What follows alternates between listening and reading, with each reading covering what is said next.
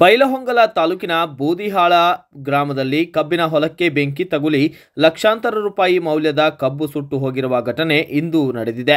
ಬೂದಿಹಾಳದ ಪಾರ್ವತ್ಯವ್ವ ಕಲ್ಲಪ್ಪ ಹುಲಿ ಇವರ ಮೂರು ಎಕರೆ ಹನಿ ನೀರಾವರಿ ಮಾಡಿದ ಪೈಪ್ಗಳು ಹಾಗೂ ಕಬ್ಬು ಬೆಳೆ ಸುಟ್ಟು ಕರಕಲಾಗಿದ್ದು ಹಾಗೂ ಸಂಭಾಜಿ ನಾಗಪ್ಪ ಸೂರ್ಯವಂಶಿ ಅವರ ಒಂದು ಎಕರೆ ಕಬ್ಬು ಸುಟ್ಟು ನಾಶವಾಗಿದೆ. ಹೂಲಿಯವರ ಮೂರು ಎಕರೆ ಹದಿಮೂರು ಗುಂಟೆ ಜಮೀನಿನಲ್ಲಿ ಬೆಳೆದಿದ್ದ ಸಂಪೂರ್ಣ ಕಬ್ಬು ಕೆಇಬಿ ಅವರ ನಿರ್ಲಕ್ಷ್ಯತನದಿಂದ ವಿದ್ಯುತ್ ತಂತಿ ಬಿದ್ದು ಕಿಡಿ ಹೊತ್ತಿಕೊಂಡು ಅಪಾರ ಪ್ರಮಾಣದ ಹಾನಿ ಸಂಭವಿಸಿದೆ. ಇನ್ನು ಈ ಸ್ಥಳಕ್ಕೆ ಬೈಲಹೊಂಗಲದ ಅಗ್ನಿಶಾಮಕ ದಳದವರು ಬಂದು ಬೆಂಕಿಯನ್ನು ನಂದಿಸುವ ಪ್ರಯತ್ನ ನಡೆಸಿದ್ದು ಫಲಕಾರಿಯಾಗಿದೆ. ಇನ್ನು ಇಷ್ಟೇ ಅಲ್ಲದೆ ರೈತರಿಗೆ ಅಪಾರ ಪ್ರಮಾಣದ ನಷ್ಟ ಉಂಟಾಗಿದೆ.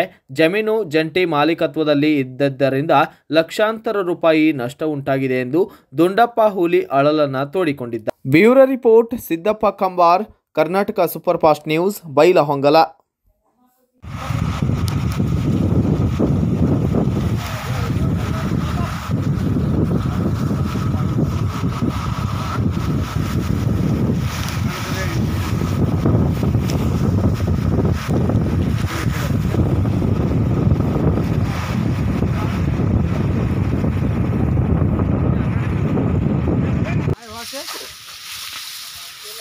ಅಲ್ಲಿ ಅವ್ರು ಇವ್ರು ಸುತ್ತತ್ರ ಅವ್ರದ್ದು ಅದು ಮಾಡ್ಕೊಂಡ್ರಿ.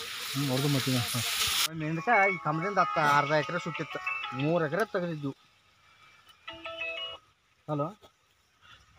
ಹಾಂ ನೋಡ್ರಿ